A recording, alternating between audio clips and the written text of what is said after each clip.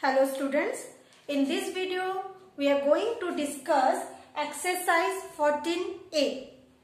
So we already discussed question number 1, 2 and 3 of exercise 14a. Today we'll start with question number 4. So see in your textbook question number 4. Write the class size in each of the following. So some class intervals are given and in this class interval you have to find the class size. So what is the given? In the first it is given 0 to 4, then it is given 5 to 9, then it is given 10 to 14. Now we all know that class size means from the class interval if you subtract upper limit to lower limit. So here upper limit is your 4 and the lower limit is 0. So 4 minus 0 will be 4. Now next in second one the upper limit is your 9 lower limit is 5 so if you subtract again we will get 4 next upper limit is your 14, lower limit is your 10. So 14 minus 10 will be 4. So in this way we, we have to find the class size of given class interval. So with the help of this try to solve question number 4 all the parts in your copy. Now for question number 5. In question number 5 if you see some data are given so first of all you have to arrange the data in ascending form. Ascending means lower to higher. After arranging the data, some questions are given. So that question you have to answer from your the data which you already arranged in ascending order. Like in the first question, what is the highest score? So from the data find out the highest value. Similarly, what is the lowest score? Find out the lowest score from the data. Then what is the range? Range means highest score minus lowest score. That one always give you range. So you have to give the answers of this question with your data which you already arranged in ascending order. So similarly you have to do question number 6 also. So question number 4, 5 and 6 try yourself and write in your copy. Now see question number 7. So question number 7 is following data gives the number of children in 40 families. So total number of family is your 40. So we can say total number of observation. Total number of observation is 40 and the number of children are given in this 40 families. So again here first try to arrange in ascending order. So I have already arranged in the ascending order like 0, 0, 0, 1, 1, 1, then all the 2's, all the 3's in the data, given data, all the 4's from the given data, all 5's from the given data and all 6 from the given data. So I have arranged this one in ascending order. After that we have to write highest observation. So once we arrange this one in the ascending order, now it is very easy to find the highest observation. So what is the highest value here? Highest value is your 6. Then the lowest value is your 0. Now range means what? Range means highest minus lowest. So 6 minus 0 it is equal to 6. So here the range is 6. Now, class size. Class size we have to find from the class interval. Here I have selected the interval as a 0 to 2, 2 to 4, 4 to 6, 6 to 8. Now 0 to 2 what will be the class size? 2 minus 0 will be 2. 4 minus 2. For the interval 2 to 4. 4 minus 2 again 2. So it means here the class size is your 2. So we get here class size as a 2. Now we have to write the frequency. Frequency means number of number of times the observation comes. So first count 0 to 2. 0 to 2 interval means you have to see the value 0 and value 1 not the 2. Here we will going to exclude the number 2. So let's count the 0 and 1s. 1, 2, 3, 4. Then 5, 6, 7, 8, 9, 10, 11. It means here the frequency is your 11.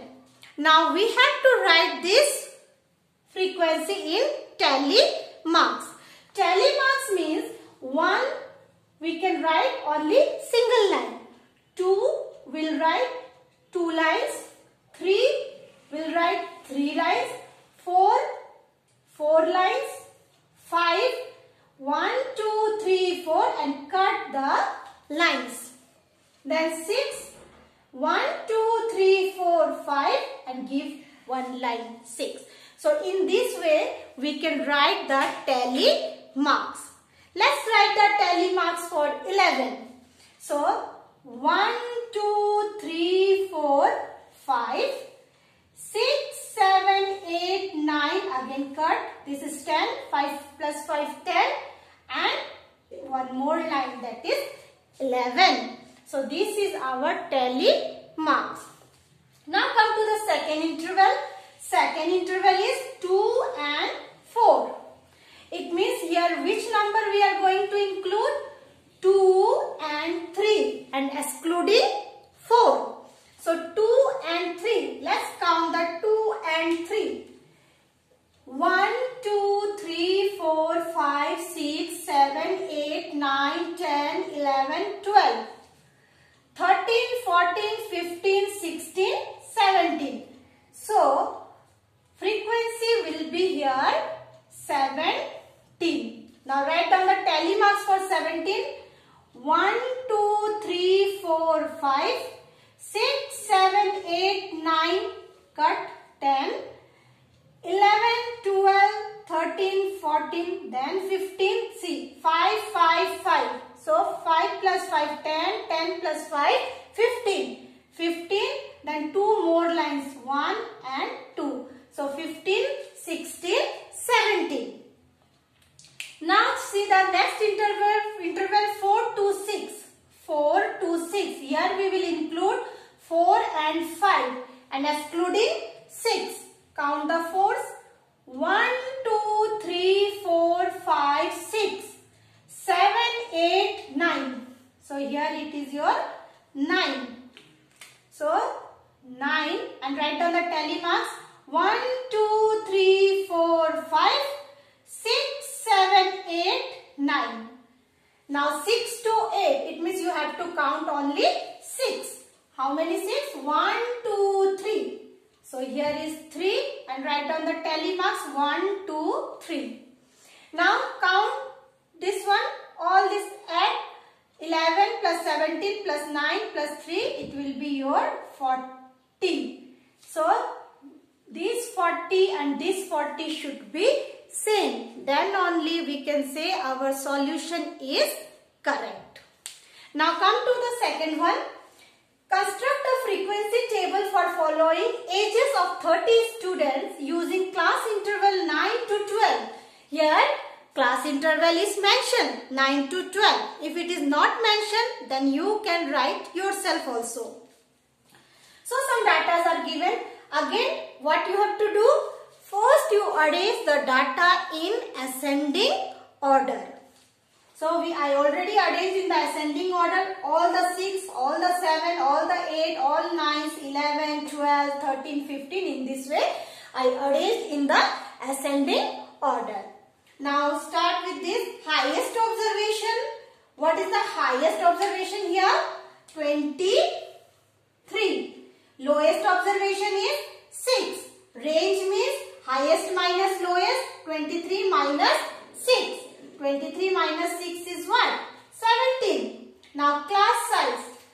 I selected here 6 to 9, 9 to 12, 12 to 15, 15 to 18, 18 to 21, 21 to 24. So in all the interval, the difference is what? 3, 6, 7, 8, 9. So the class size is your 3. Now let's count the frequencies 6 to 9. 6 to 9 means here what number will be included? 6, 7 and 8. Let's count the 6, 7, 8 excluding 9. So 1, 2, 3, 4, 5. So here it is your 5. Now write down the tally marks for 5. 1, 2, 3, 4 and cut one line on these four lines. Next 9 to 12 it means 9 to 12. Here what will be included? 9, 10 and 11 excluding excluding 12. So count it 1, 2, 3, 4. Only 4. So write down the tally marks. Tally marks will be 1, 2, 3, 4. Next will be for 12 to 15. It means we have to see 12, 13 and 14. 12, 13 and 14. 1, 2, 3, 4. So again it is your 4. Write down the tally marks. 1, 2, 3, 4. Next 15 to 18 it means 15, 16, 17. 1, 2, 3, 4, 5, 6, 7. So 7. So 1, 2, 3, 4, 5, 6, 7. Now 18 to 21 it means 18, 19 and 20. So 1, 2, 3. So here only 3. So 1, 2, 3. Next will be your 21 to 24. 21 to 24 means you have to include 21, 22 and 23. So count it 1, 2, 3, 4, 5, 6, 7. So write here 7 and write down the tally marks.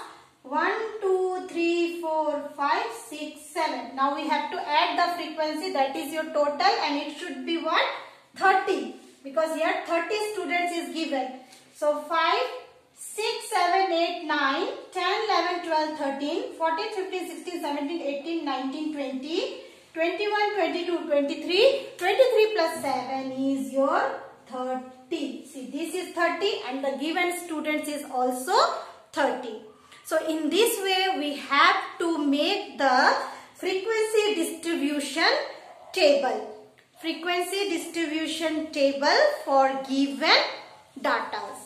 Now with the help of this question number 7 and question number 8 you have to solve question number 9, 10, 11. So for today's assignment you have to do from question number 4 to question number 11 in your copy. Thank you.